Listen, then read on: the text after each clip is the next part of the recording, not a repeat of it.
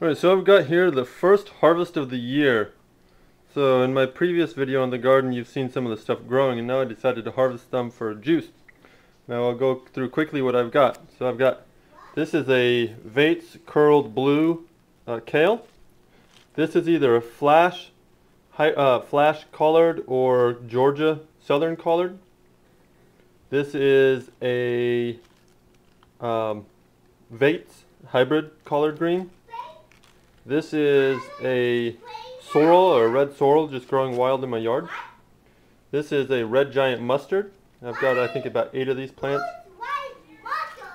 This is uh, this is some dandelion greens. As you can tell the dandelions here aren't quite big yet. These are just what I got off of maybe eight plants or so.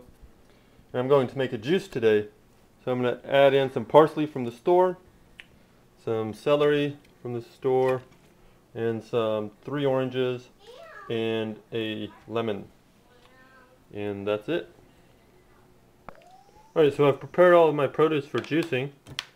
Uh, if you notice the juicer that I have, it's the Omega Vert 330 and I've upgraded the things so that I've got the Ultem screen so it's now the, the 330 HD. And one of the problems with the uh, with this particular model is that if something is stringy, then the, the strings kind of get caught in the ejection chute and kind of block it up.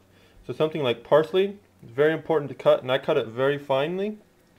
Uh, other things, even like kale and collard greens, they the the stalks are. What did you say? I'm telling people how to cut up their produce for juicing. Why? Because they need to know. And uh, pretty much anything that's stringy. So I've got my celery in here too. Yep, we cut it up with a knife so that it goes through the juicer very easily Uh-huh. and without blocking it up. And so this is all of the produce that I had cut up and I think I might add some more celery towards the end because that was a pretty small celery stalk and I've got quite a few more. And then my oranges and then I'll just run them through the juicer.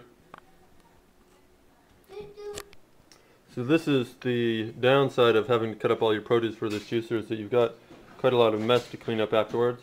But I wanted to show you why I cut this up. And if you look, here is a bunch of pulp that is caught in the ejection chute.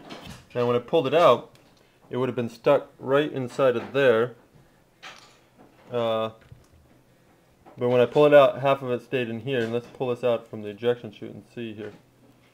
So, see that is a glob of just fibrous mass that will, oh, and there's still some left that just won't, you know, it kind of blocks it up. And, you know, in one regard, it, it, it makes you get a higher efficient juice, but in the second, uh, the downside of that is that you tend to get more pulp.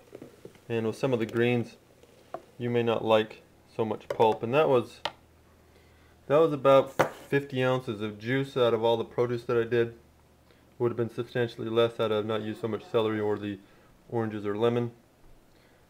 But now for the cleanup. And let's taste this real quick. Let's see how this tastes.